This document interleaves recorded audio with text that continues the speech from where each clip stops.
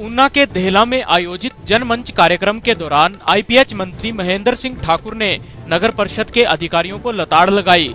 जन शिकायत पर उचित कार्रवाई न होने पर मंत्री ने अधिकारियों को निर्देश दिए कि जनमंच की शिकायतों का निपटारा प्राथमिकता के आधार पर किया जाए। ताकि लोगों को परेशानियाँ कम हो सकें।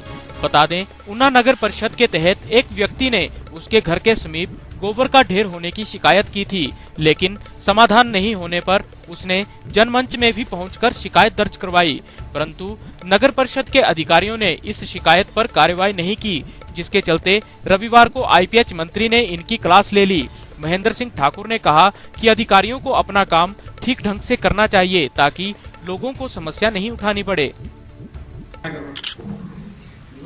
ठीक है फ़ायदा हुआ छोटी छोटा सा काम है, छोटे से काम के लिए। कोई ना कोई कोई ना कोई बीमारी नहीं?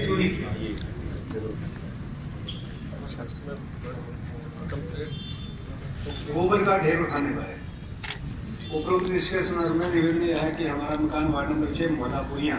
पूना स्थित है, इस मकान के पीछे भाग में गुरमुख सिंह सिंह निवासी, सात निवासी ऊना काफ़ी समय गोबर का दिव्य हिमाचल वेब टीवी के लिए उन्ना से मुनिंदर अरोड़ा के साथ अनिल पटियाल की रिपोर्ट।